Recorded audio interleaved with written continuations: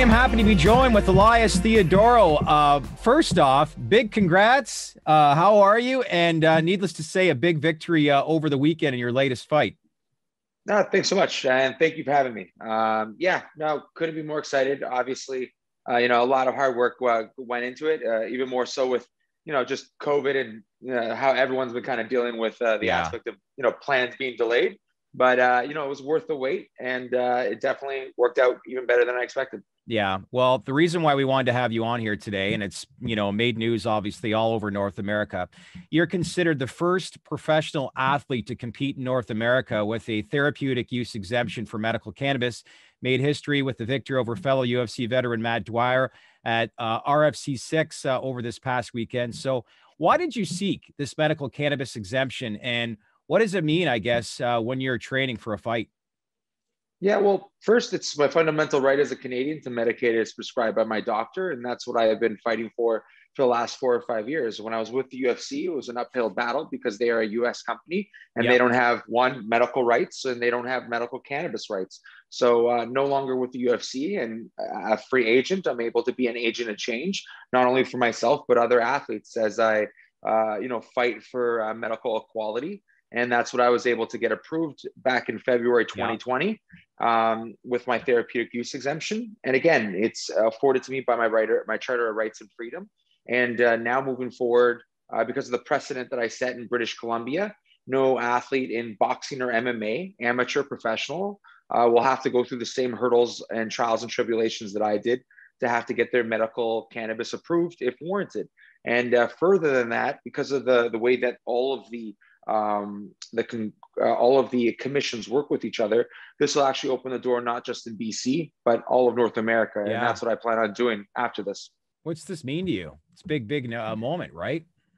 Yeah, it means everything. Uh, again, um, obviously, a fighter who uh, you know is set on winning, uh, you know, in yeah. the cage. But uh, I've been kind of set for the latter part of uh, you know four years, five years, as I mentioned, fighting outside of the cage. And yeah. um, you know just the alternatives and the, the, process that i had to go through uh, essentially exhausting all ever types of uh, medication just to prove that cannabis was the better choice. And it was something that my doctor uh, was just scratching his head and uh, you know what i had many doctors help me out through this because uh, again it was a it was a process. Um, you know um, the original doctor that i was working with was my um, my actual lifelong med- medical practitioner. He's been my family doctor since I uh, before I can even remember. So um, he was just scratching his head because again, the outdated uh, process that they had was you have to ex- essentially do every single drug that is on the list is that it's approved right. before you can come back to what works. so they had me taking addictive opioids. They had to take uh, taking uh, you know detrimental uh, painkillers that you know not only affected me as a patient but also as an athlete because yeah, those sure. are two different hats. Those are two different hats that I wear. Uh, and I, you know, a, a, top level athlete that is uh, you know that has to compete at his best pretty much you know every single day, but at the same time a patient who now has medical needs that are you know being conflicted with the fact that I'm a patient and because of you know the outdated mindset that and and, and protocols that uh, you know both essentially uh, the U.S. and Japan uh, kind of dictate to the rest of uh, the world. Um, Canada, uh, you know, in the uh, as part of the world's anti-doping agency, yeah. CCS has been trying to get cannabis removed from the prohibit list for quite some time, and you know, U.S. and Japan have basically shrugged them off. So, um, kind of digressing a little bit, but kind of elaborating at the same time. When I was with the UFC, the United States Anti-Doping Agency gets all of their um, funding from the U.S. government that still looks at cannabis as a Schedule One drug, which yeah. means that there's no, which means that there's no um, medical properties under their, you know, under their viewing, I guess, um, which is again backwards because they agreed because I showed all the paperwork that I have my medical condition, which yeah. is bilateral neuropathy. It's essentially nerve damage of my upper extremities. Yeah. I'm asking to use cannabis as a pain management tool or a pain management medicine, and they won't. They wouldn't. They wouldn't even consider it. it. Hmm. No, it was basically no, uh, and here's why. And I kept on shrinking the nose, and here's why. Every time I would resubmit, um, but again, the big hurdle was they get funded by the U.S. government. It doesn't look at cannabis yeah. as a it doesn't look at cannabis as a med- uh, medicine in any way, shape, or form. But now, um, being able to apply in BC and getting approved yeah. because of a commission again, and beyond even the the sport component, there's something even bigger that I think that is sometimes missed. Um, the commission is run by the BC government. Yep. So this means this is the first time the government or any government has recognized cannabis as a medicine in sport. So mm-hmm. this is even bigger than sport. This is another actual foundation of medical cannabis rights that all uh, Canadians get to exercise and uh, you know validate and uh, use in their own precedent moving forward. Well, I'll be curious to see. You know, there's been a lot of talk about decriminalization in the U.S. and removing cannabis from a Schedule One drug with this MORE Act, and the Democrats potentially passing this through the Senate this year. In the event that were to happen, um, maybe play it out. Like, where do you think the landscape will go, not only in Canada but in North America? And does this open the door uh, rapidly for uh, more and more athletes being uh, obviously exempt with uh, medical cannabis? Unfortunately for them, again, it's the process and seeing if this eventually becomes decriminalized or and then you know moves to the states or becomes federally recognized. Yeah. Then then the the the the, the barrier in regards to medicine. But unfortunately, uh, at the moment, no one else can really argue it in the same way that I can. Um, and with that note, I, I mentioned it in my um, documentary that kind of aired before my fight. But I have applied for a therapeutic use exemption in California. Okay. And I'm waiting for that process. So uh, you know, the the, the uh, my my council has been talking to the um, the Commission of California Government, uh, the California State Athletic Commission, and they've been a, a great uh, you know uh, uh, you know party that has been working in, in, in throughout the whole process with yeah. my um, council, and I should have an answer in the next little bit. And again, this will create precedent not only for myself but other athletes to use it in a way that they wouldn't be able to do it because again unfortunately in the us there isn't medical cannabis rights and there's not even medical rights more broadly because again it's a private uh, yeah. You know, uh, private product, I guess there, which yeah. again, I believe in clean sport and I believe that, uh, you know, healthcare is a fundamental right. And uh, I'm trying to share that in any way I can. But the interesting thing that happens now because of all the commissions, they work with each other in congruency. What ends up happening is I no longer have to argue medical cannabis rights. I basically have to argue, I basically have to say, BC government said this works for me. And now why do you say this doesn't work for me? Why right. are they wrong? So yeah. it kind of flips it a little bit and it will make it a little bit easier. Um, I, again, I'm very thankful for the British Columbia Athletic Commission. I'm very uh, for accepting my therapeutic use exemption. And I'm also very thankful for the um, California Athletic Commission for hearing my case. And hopefully, uh, in the next uh, couple of weeks, if not months, uh, they will also approve and validate my therapeutic use exemption. And again, uh, this is just the beginning. I'll only fight Great. in jurisdictions that respect my fundamental right to medicate as both patient and athlete. Good for you, brother. That's got to feel good, huh?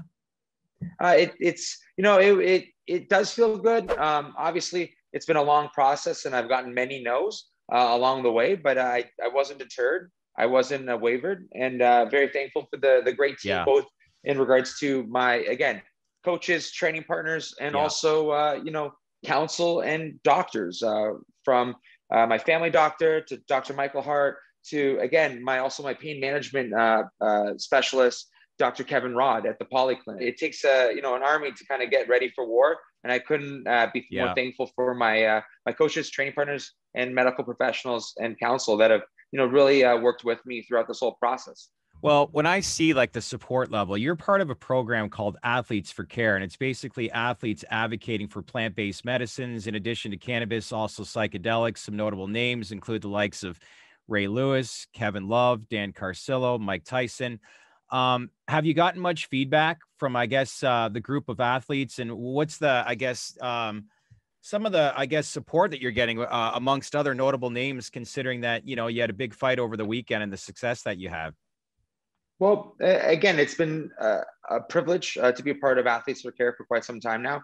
Um, obviously, uh, before COVID, there were a lot more events that we were able to not only network uh, what's called, uh, you know, in general, more broadly, but yeah. also in person uh, together. And looking forward to that starting to pick up once some normalcy returns, uh, and hopefully sooner rather than later. But uh, again, being able to, uh, you know, connect with many different athletes, both past, present, and potentially future, that again can lean on each other for different aspects, from the, the you know, the um, uh, everything that kind of encompasses uh, just being an athlete, whether it was stigmas of the past, stigmas that currently stand, or any other types of uh, you know trials and tribulations that we all have to fight with our own battle. You know what I mean? It, it, you know, I obviously come from an individual sport, but yep. Uh, just like with uh, many other sports, and even like I mentioned, you know, what it takes to compete, um, it takes a team, and I couldn't be more thankful to be a part of uh, the athletes for care team.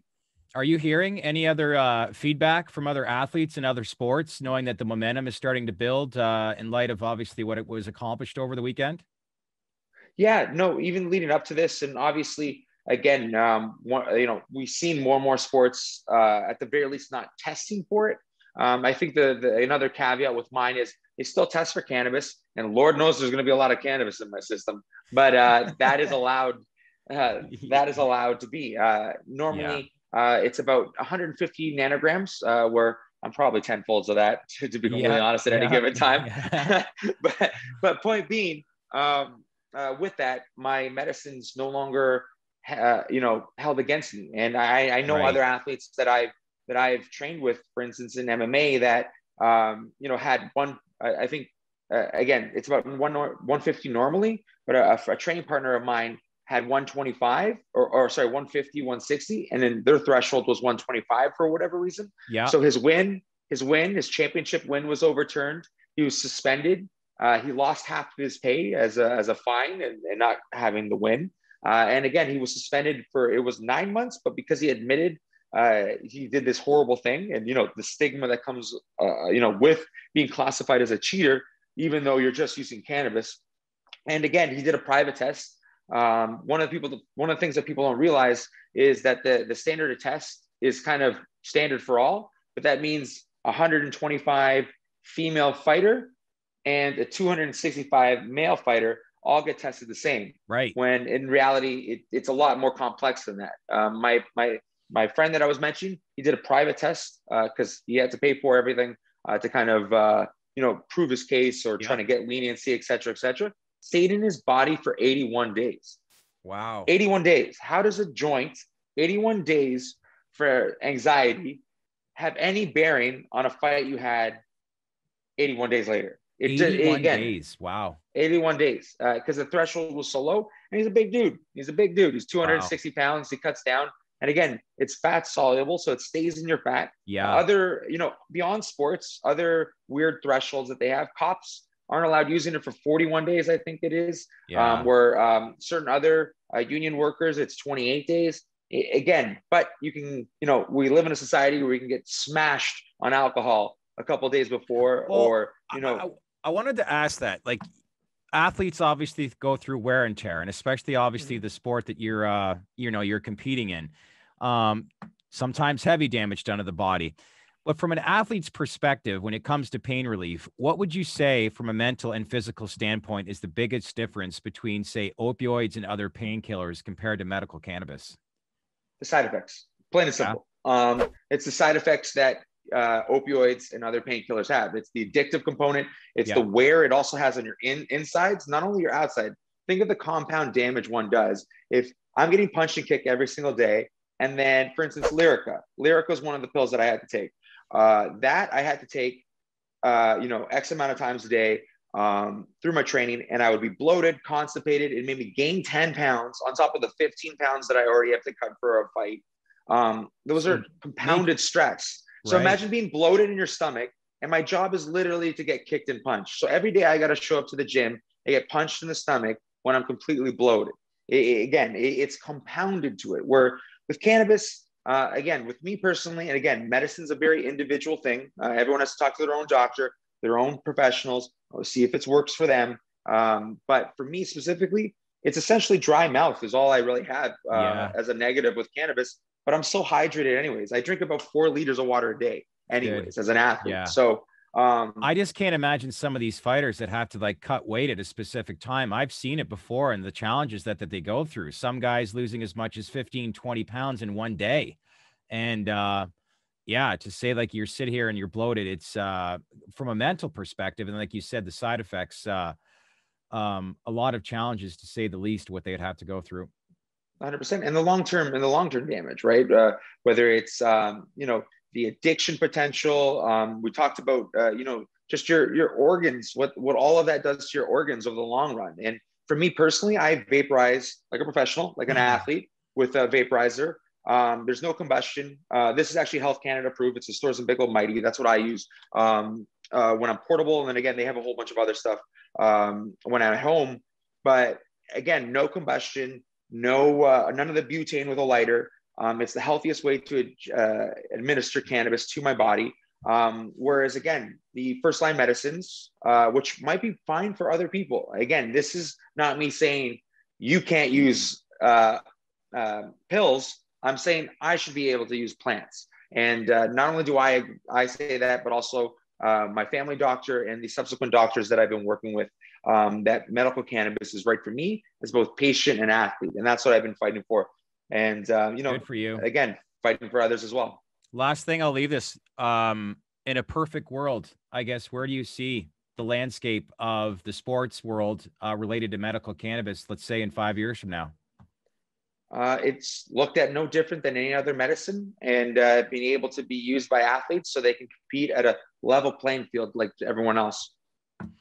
Good stuff. Again, congrats. Keep the message going forward. I really appreciate you taking the time and uh, keep fighting, brother. Everybody loves watching you. And uh, again, big monumental moment, obviously, this past weekend. And I'm sure there's a lot of people applauding you and uh, the success that you've had in the uh, message that you're trying to get through. Thank you so much. Together right. we grow. All right. Thanks, Elias.